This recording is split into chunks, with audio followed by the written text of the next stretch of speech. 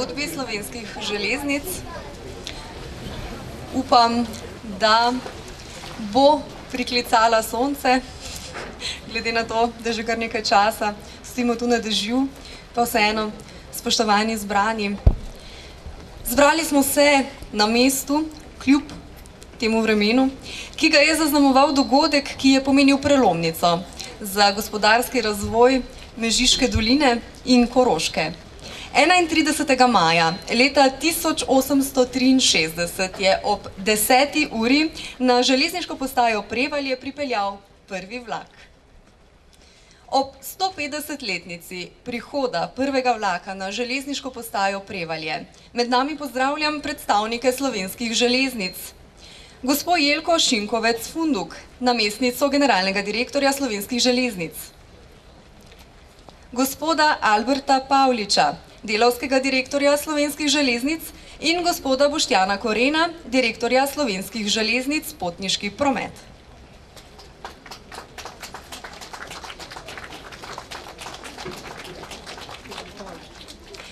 Lepo pozdravljam župana občine Prevalje, doktorja Matijo Tasiča, gospod Margarito Jukič in podžupana gospoda Zdravka Fajmuta, župane sosednjih občin, upravnika železniške postaje Prevalje, vse uslužbence postaje Prevalje, svojce dolgoletnega, dolgoletnega načelnika železniške postaje Prevalje, gospoda Emila Plenška, posebej pa učence in učitelje osnovne šole Franja Goloba Prevalje, ter seveda vse vas, ki se zavedate pomena zgodovinskega dogodka in ste se odločili počastiti ta slavnostni jubilej. Pozdravnemu nagovoru vabim župana občine Prevalje, doktorja Matijo Tasiča.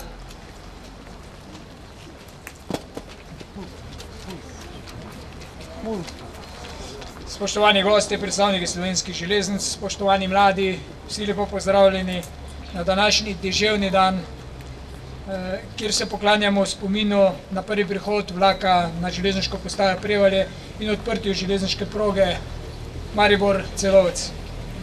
Prvi vlak je pripeljal skozi Prevalje iz Maribora do Celovca 31. maja, natančno ob 10. uri brez zamude, tako poročajo stara poročila. Tudi je bil deževni dan takrat pred 150 leti. Železniška proga, ki je Koroško pred 150 leti povezala s svetom, je pomenila gospodarski preporod in seveda razvoj Mežiške doline. Ob izgradnji železniške proge Maribor-Celovec so zgradili tudi stavbo železniške postaje, ki je postala pomembno prometno središče v Mežiški dolini, kjer so odlagali in tovorili pošiljke, ki so jih sprejemali ali pošiljali preko Štajerske in Koroške naprej po Evropi. Da bi se ohranil spomin na to izjemno tehniško vsebino, smo zaselek poimenovali pri postaji.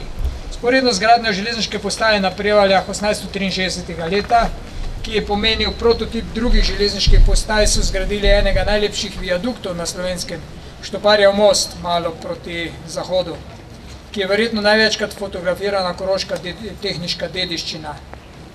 Zgrajen je bil tudi hotel Lahovnik za tiste čase, čestitljiva stavba, kjer so se odžejali številni popotniki, ki so se pripeljali na Prevalje ali tu čakali na vlak ali na poštni avtobus, ki je razvažal potnike po dolini. To okolje je bilo zelo živahno, tako kot je danes. Vmes je bilo malo manj živahno in upam, da bo živahno tudi v bodoče, da bodo železnice naredile ta preboj, ta premik v izboljšanje infrastrukture, zato da bodo časi prevozov hitrejši, da se bojo potniki hitreje vozili med slovenskimi kraji in v tujino in takrat bojo potniški vlaki verjetno bolj polni. Skupaj z sosedji Avstrici se bomo borili za to, da bo ta proga ostala, da se bo v bodoče modernizirala tako za potniški in tovorni promet. Kako pomembna je prometna infrastruktura za razvoj gospodarstva, vedo in vemo gospodarstveniki že od nekdaj. Upam, da bodo prišli boljši časi in da bo železniška proga ponovno uživela in da bomo tudi mi, korošci, dočakali en tak razvojni preboj, ko je bil z železniško progo, z hitro cesto, Sej vidimo goste, ki so prišli po naši cesti, so rekli, da so potrebovali bistveno več časa, godbeniki so zamudili, ampak to ni nič novega za slovenske železnice, ponovadi so zamude, ker, ker eh, dnevno prisotne. Ampak seveda se na železnicah zelo trudijo, da bi modernizirali in imeli manjše zamude in da bi čim več potnikov in tovora spravili na železnice in da bi s tem čim manj uh, onesnaževali okolje. Torej, zato želijo, da nas hitra cesta, da na hitro cesto manj čakamo, kot so takrat čakali na železniško progo, na avtoritev železniške proge. Želim vsem skupaj kljub dežju lep dan in več optimizma, kot smo ga deležni v zadnjih časih. Hvala lepa. Za slavnostni govor prosim predstavnico slovenskih železnic, gospod Jelko Šinkovec Fundok. Dober dan vsem skupaj, eh, tudi v mojem imenu in seveda v imenu slovenskih železnic. Eh, zelo me veseli, da se ob takem jubileju, na koncu koncev, to je že čestitljiva starost, eh, pa čeprav govorimo o infrastrukturi, konkretno o progi. Torej, redko se pravzaprav srečamo na tem koncu, seveda razlogi so različni. Gospod Župan je, je omenil jasno to nepovezanost infrastrukturno, tako cestno kot železniško. Sama pa lahko seveda v imenu in na strani železnic povem to, da smo vedno in si še prizadevamo, je po mojem mal, v teh časih mal neugoden izraz, pa vendarle trudimo se, da bi eh, tako regionalne kot glavne proge eh, obdržali, jih širili, nadgrajevali in seveda eh, novo gradili. Eh, to nam v zadnjih desetletjih ni prav uspelo. Eh, nažalost eh, so bile eh, proge, bom rekla, slovenska železniška infrastruktura porinjena na stranski tir. Investicije so se dogajale drugot, vendar pa zahvaljujoč, to bi še posebej rada poudarila, pripadnosti vseh železniških delavcev, kljub temu nekako držimo to infrastrukturo v kondiciji in vendar moram reči, da že, že zelo, zelo z zadnjimi močmi. Ne, morda ni primerno, vendar se tudi na področju, če se navežem na svojega predhodnika, zelo trudimo, kar se tiče uslug potnik, potniškega prometa in s tem vezano na omenjene zamude, ki pa moram reči, da se v glavnem kar skrajšujejo, in niso ravno uh, na dnevnem redu, ampak uh, povza šalo, povza res. Zbrali smo se tu, uh, ker m, imamo slavljenko, to je koroška proga, ki šteje uh, stoletje in pol. Uh, vesela sem, da, ga, da lahko to proslavi, proslavimo skupaj z vami in vam strani slovenskih železnic in uh, poslovodstva, ki ga predstavljam, uh, za zaobljubljam, da bomo še naprej uh, skrbeli in se trudili, da ta in ostale uh, železnice, uh, železniške proge, se pravi infrastruktura, ostane in se izboljšuje v, v smislu uh, sodobnih evropskih sistemov. Uh, želim vam prijeten dan in se še enkrat zahvaljujem, za, za, ker praznujete skupaj z nami. Lepo pozdravljeni.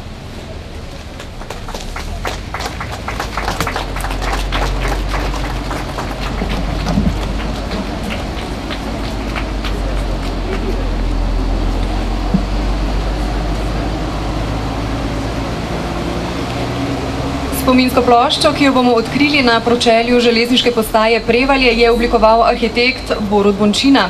K odkritju plošče vabim predstavnico slovenskih železnic, župana občine Prevalje, predstavnika učencev osnovne šole Prevalje.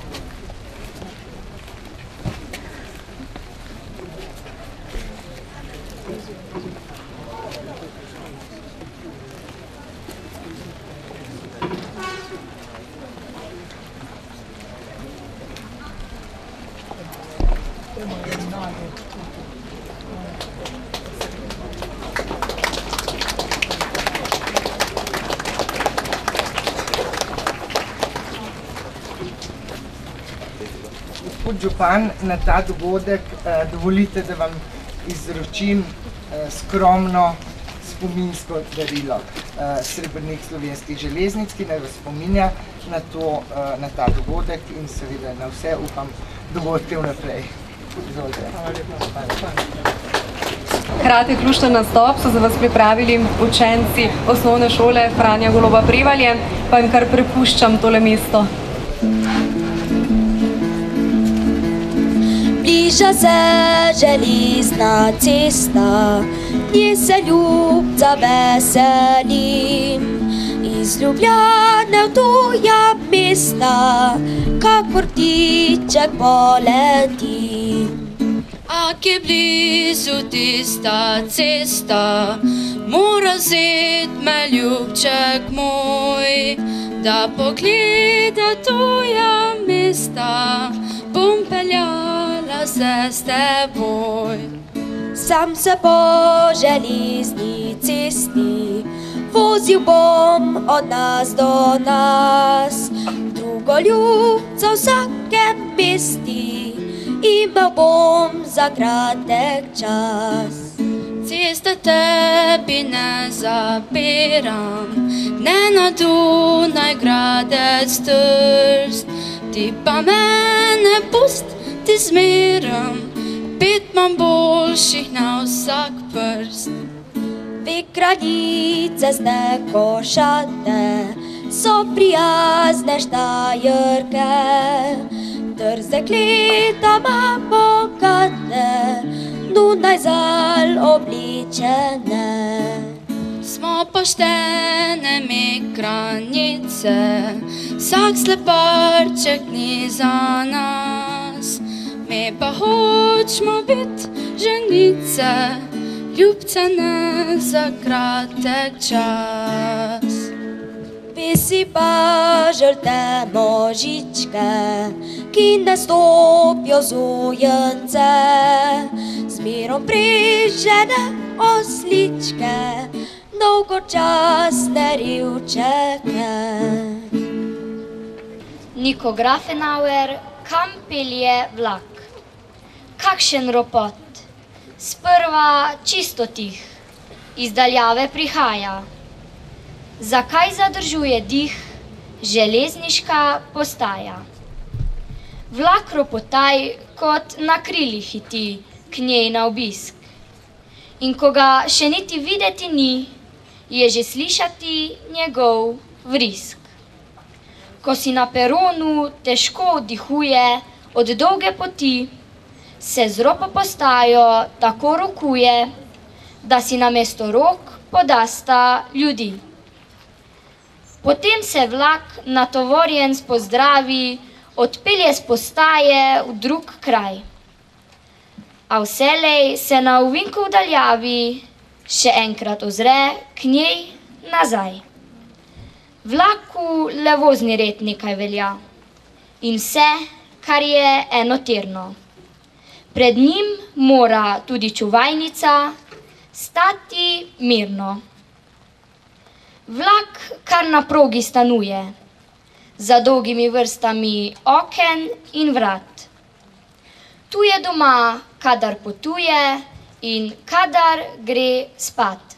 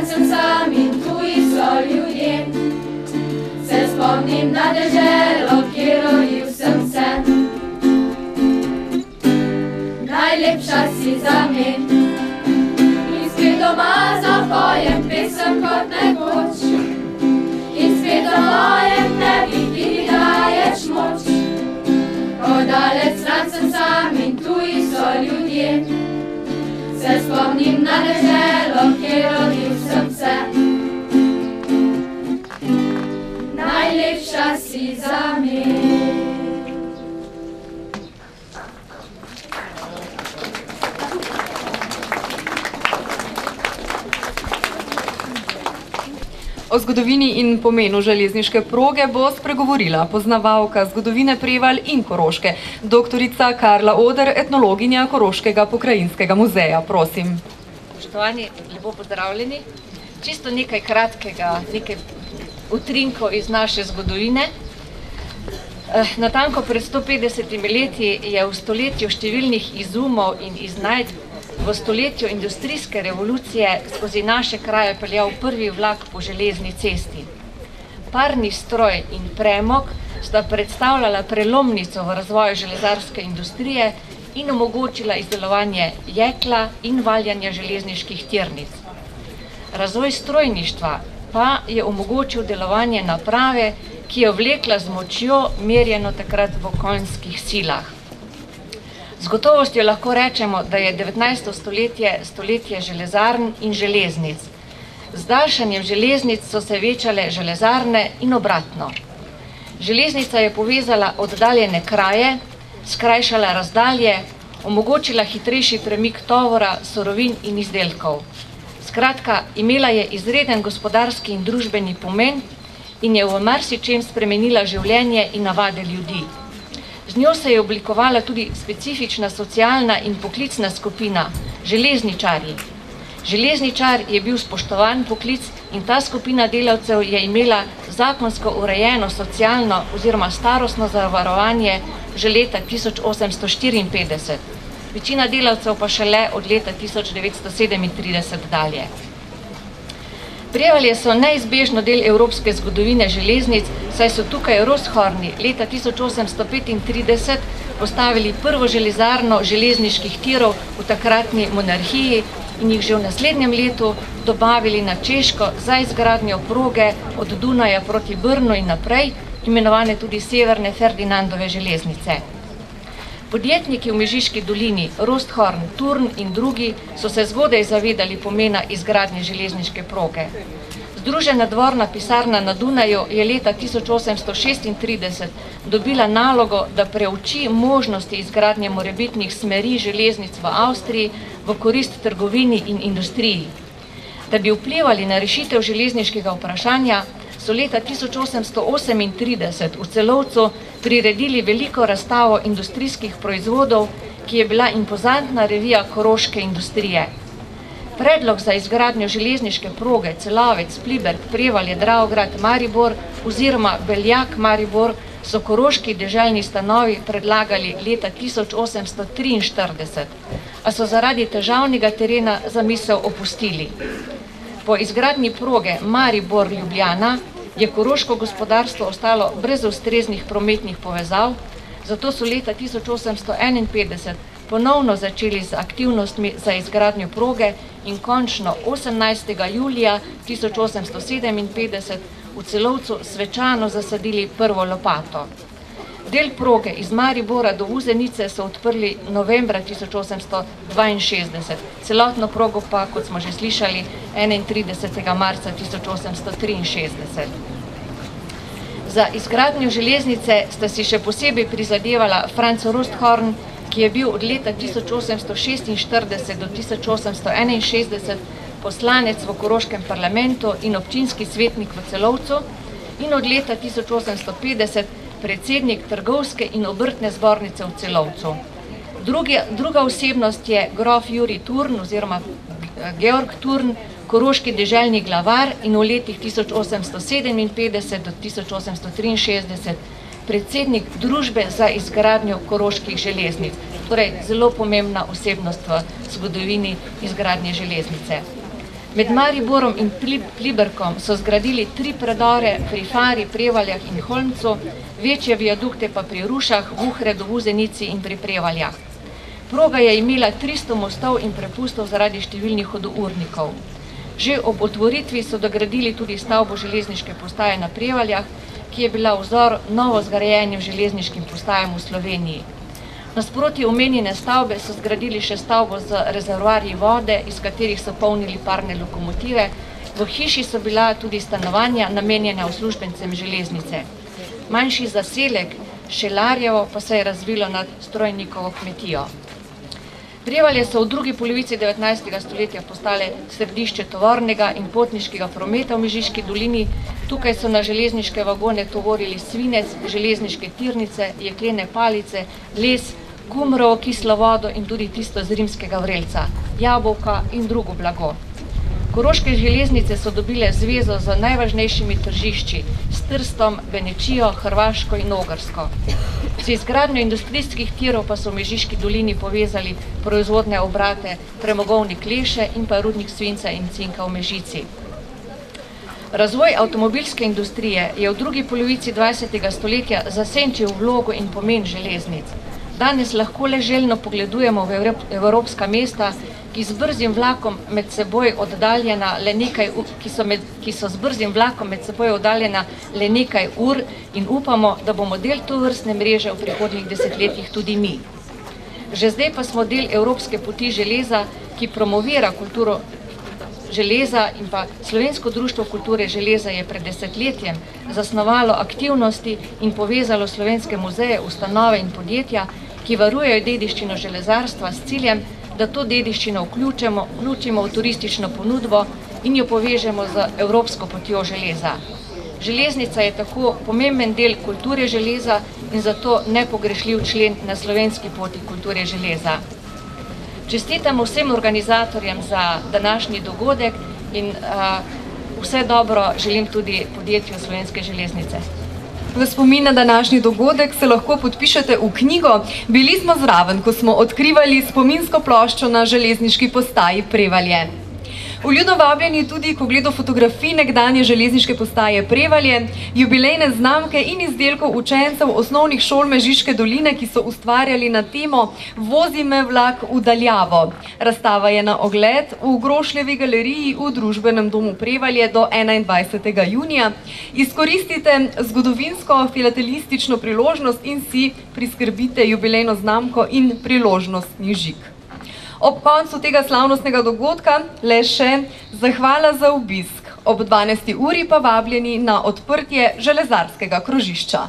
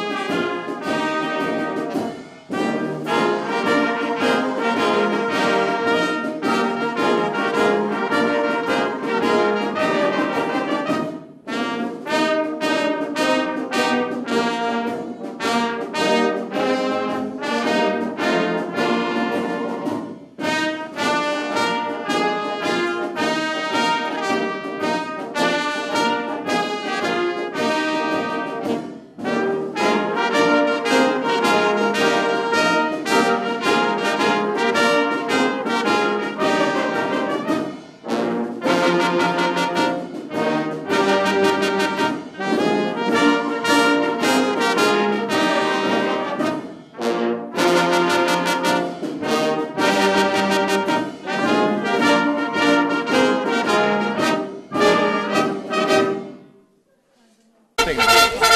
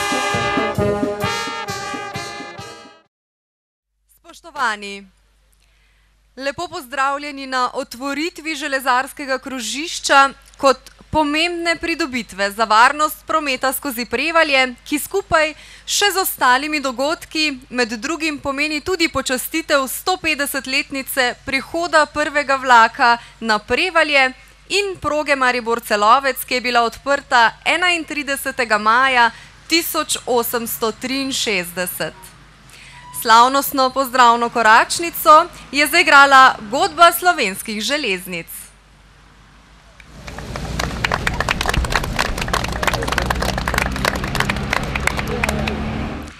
Med nami posebej pozdravljam direktorja Direkcije Republike Slovenije za ceste, magistra Gregorja Ficka, namestnico generalnega direktorja slovenskih železnic, gospod Jelko Šinkovec Funduk.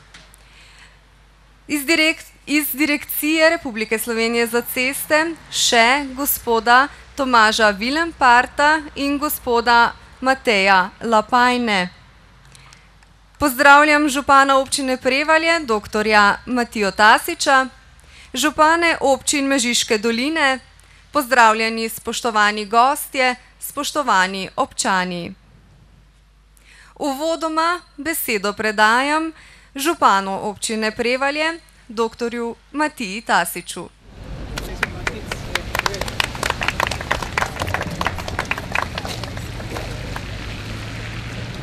Dragi občani in občanke, spoštovani gostje, gospod Gregor Ficko, Ficko, direktor Direkcije Republike Slovenije za ceste, spoštovani predstavniki slovenskih železnic, predstavniki izvajalcev podjetja Slemenšek, cenjeni vsi gostje, ki ste danes prišli na otvoritev krožišča. Za varnost in varno pretočnost prometa gre nam vsem in za vse nas. Za urejeno okolje in razvojno okolje, razvoj, razvojnost okolja. Z veseljem predajamo z današnjim dnem v uporabo železarsko krožno krožišče, ki je že drugo na Prevaljah in pripomore h kvaliteti in varnosti življenja. Križišče smo poimenovali železarsko krožišče. S poimenovanjem zaokrožamo in povezujemo ohranjeno železarsko dediščino na tem delu Prevalj. Zaselska ugasle peči, zida iz žlindre ostankov prevaljske železarne iz devetnajstega stoletja, Grošljove skulpture na zidu v spomin na železarstvo, osrednji pomnik Avgustu von Rosthornu v spominskem parku, ustanovitelju železarne in Prevalj ter nasipu Šlokn. Tudi bližina železniške postaje ima sporočilno vrednost, saj je z železniškimi tračnicami železarna Prevalje v tistem stoletju najbolj zaslovela. Osrednja Gornikova skulptura v krožišču je narejena iz tračnic, narejenih v prevaljski železarni v devetnajstem stoletju in je doslej stala v spominskem parku. Z imenom dajemo temu delu Prevalj prav posebno naslonjeno na tehniško kulturo, tehniško kulturno dediščino. Hkrati smo veseli te pridobitve, ki je izjemno pomembna tako za varnost prometa, za varnost občanov, za varnost učencev, ki hodijo v šolo, tako da je krožišče bilo sigurno prava rešitev. Tudi postavljeno je primerno, čeprav je bilo dosti skeptikov, ki niso verjeli, da lahko to krožišče izgleda tako, kot izgleda. Eden me je opozoril, da bi lahko, tako kot je Prešern zapel Bliža se železna cesta, lahko tudi danes zapel, da se nam bliža tudi hitra cesta v okviru tretje razvojne osi. Tisti, ki ste zadolženi za hitrejšo postavitev v prostor in izgradnjo, jaz upam, da boste to simbolnost razumeli, kajti tretja razvojna os in hitra cesta v okviru tretje razvojne osi je izjemno pomembna ne samo za varnost prometa, pač pa predvsem za hitrejši razvoj, tako kot je bila pred sto petdesetimi leti železnica ena najpomembnejših inštitucij v Mežiški dolini in v delu Koroške, tako tudi čakamo skupaj vsi občani, gospodarstveniki Koroške na boljše cestne povezave. Hvala lepa.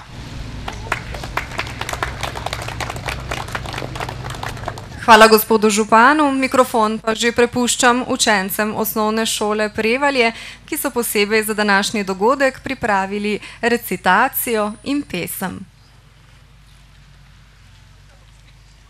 Cesta ni presta in tudi nobena nevesta. Cesta je zvita kača, ki se zvito obrača. Cesta še zdaleč ni presta in tudi bela nevesta. Cesta je zvita kača in na njej vsak nepreviden korak lahko življenjem se plača. Po vaseh in po dolinah, sredi mest in sploh povsod, vijejo se bele ceste, ki prepolne so otrok. Ko hitijo v vrtec, šolo, ko domov se jim mudi, pazi, pazi vsak voznik na te drobcene ljudi. Saj majhne glavice prevzete od življenja so in sanj. Pozabijo na vse nasvete, stečejo na drugo stran. Da prijazna bodo jutra, da bo varen vsak nov dan. Vedno se zavedajmo. Na cesti nikdar nisi sam. Skupaj bomo vsi pazili. Vse to v naših je močeh. Da se slišal na poteh, bo vedno le otroški smeh.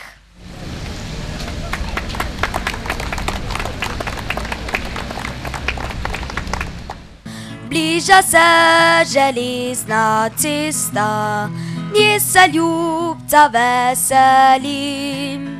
Iz Ljubljane v tuja mesta, kakor ptiček poletim. Ak je blizu tista cesta, mora zet me ljubček moj, da pogleda tuja mesta, bom peljala se s teboj. Sam se po železni cesti, vozil bom od nas do nas. Drugo ljubca v vsakem mesti, imel bom za kratek čas.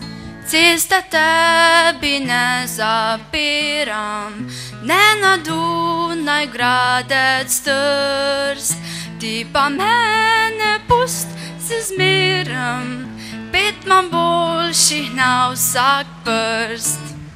Vikranice ste košate, so prijazne štajerke, trze klitava bogate, Dunaj zal obličene.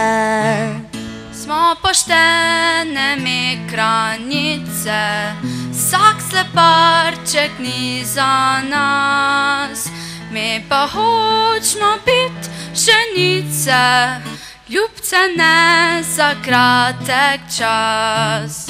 Visi pa žrte možičke, ki ne stopijo zujence, zmerom prižene osličke, dolgočasne revčeke.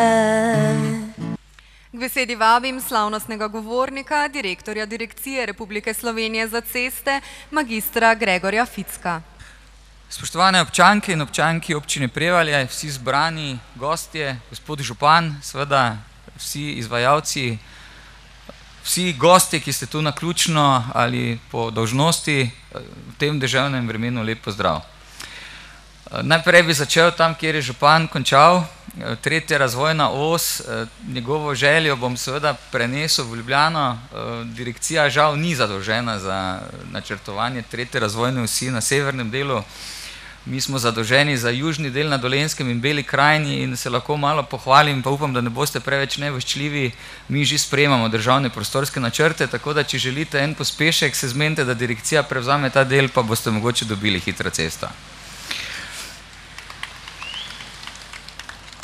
Zdaj pa, če se vrnemo na današnji dogodek, na današnjo otvoritev, torej jaz moram povedati, da smo kot direkcija izredno veseli, da smo dejansko dodali še en košček v mozaiku obnov, rekonstrukcij, modernizacije slovenskega državnega cestnega omrežja, čeprav izredno majhen.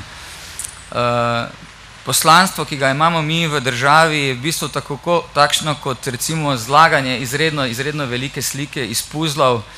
Uh, vedno, ko prijete do neke celote, se vam na drugi strani že podira.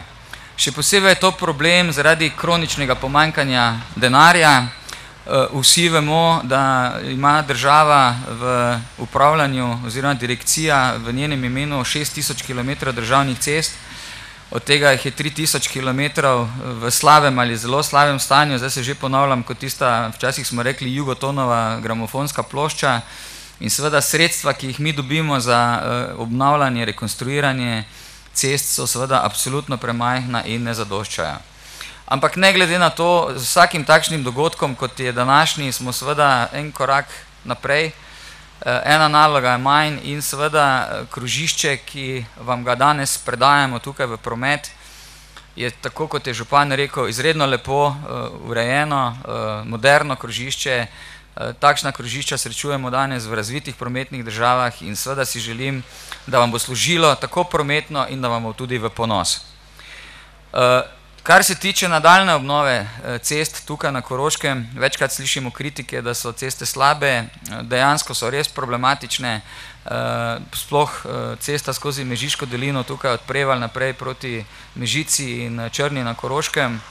Mi seveda pripravljamo projekte, vse potrebne aktivnosti za naprej in seveda z aktivnostmi bomo nadaljevali že letos, konec letošnjega leta, tudi v prihodnjem letu, seveda pa, kot se temu reče, toliko kot je denarja, toliko tudi muzike. Ne glede na to, plani so, projekti so pripravljeni, se pripravljajo, tako da mi se bomo trudili, da bomo nekako vsaj v takšnem tempu, kot smo ga sledili do sedaj, tudi gradili naprej. Res pa je, da smo v zadnjih letih tudi tukaj na Koroškem naredili kar veliko, tako da vseeno, ko bo še enkrat tretja razvojna os zgrajena, bo seveda slika povsem drugačna. Tretja os seveda predstavlja neko čisto drugačno cestno komponento, kot jo predstavljajo trenutne državne ceste in seveda je edino prav, da si koroške občine, Koroška regija še naprej prizadeva za izgradnjo te prepotrebne hitre ceste. Kaj naj rečem zaključek, za zaključek, najprej iskrena hvala vsem, ki ste potrpežljivo prenašali to gradnjo. Žal pri vsaki taki gradnji prihaja do problemov, zastojev, prahu, težave so, ampak žal nimamo čarobne paličice, da bi to zgradili kar z enim zamahom. Sedaj je to vse za nami, krožišče je tukaj in jaz se seveda tudi županu, občini zahvaljujem za sodelovanje, korektno sodelovanje. Moram reči, da bi si takšnih sodelovanj, kot ga imamo z občino Prevalje, želeli tudi na na drugih nivojih, v ostalih občinah in seveda plod tega je tukaj tudi današnje krožišče. Naj vam služi varno, pazite ga, ne rušite ga, vandalizma imamo mi tudi dosti težav na direkciji, župan je postavil zelo lepo skulpturo in še enkrat želim vam srečno vožnjo skozenj in vse dobro. Hvala lepa. Sledi najslavnejši trenutek k prerezu traku in odprtju krožišča, vabim. Direktorja Direkcije za ceste Republike Slovenije, Gregorja Ficka, župana občine Prevalje, doktorja Matica Tasiča, predstavnika podjetja Slemenšek, gospoda Marjana Slemenška, in najstarejšega občinskega svetnika občine Prevalje, gospoda Ivana Pungartnika. Hkrati k odkritju spominske plošče s poimenovanjem železarskega krožišča na zidu iz žlindre ob krožišču vabim arhitekta Boruta Bončino in gospoda Igorja Gornika, sina avtorja prvotne skulpture iz železniških tračnic. Slavnostni dogodek bo pospremila godba Slovenskih železnic slavnostno koračnico. Tako, samo prste pazi. Tako, kar kar se pravi. Evo, super. Še ena. Evo, župan, naj ti bo to krožišče srečno v uporabi, dobro ga uporabljajte, pazite ga in gremo naprej. Upamo, upamo. Vam hvala za podpiranje.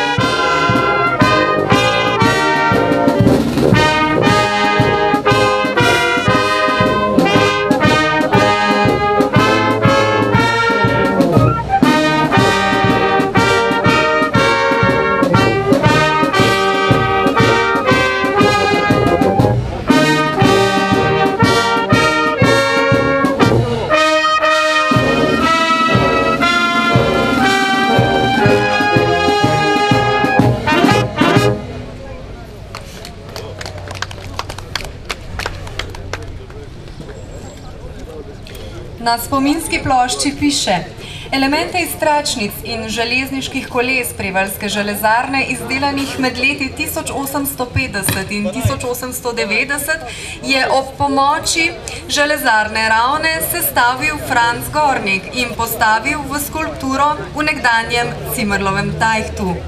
V letu 2012 je arhitekt Borut Bončina razstavljene dele osnovne skulpture preoblikoval in predelal v prostorsko inštalacijo, kjer je obstoječemu valju in dvema kvadroma dodal četrti element, dimenzijo v obliki valovnice, ki prepenja osnovne elemente in jih povezuje v novo dimenzijo prostor časa. Na ohranjeni plošči iz 19. stoletja je besedilo Antona Martina Slomška, posvečeno nekdanji železarni prevalje.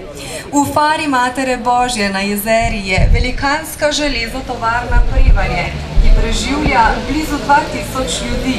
Naredi vsako leto mnogo jezdar centovšin za železnice in ima v svojih gorah neizprazljive zaloge premoga. Vabimo vas na ogled razstave del likovne delavnice učencev osnovnih šol Mežiške doline v Grožljevi galeriji. Izkoristite zgodovinsko filatelistično priložnost in si priskrbite jubilejno znamko in priložnostni žig. Hvala cenjeni gostje za obisk. Hvala vsem nastopajočim za oblikovanje kulturnega programa v počastitev prazničnega dne v osnovni šoli in godbi slovenskih železnic. Železarsko krožišče je odprto, varno vožnjo vam želim.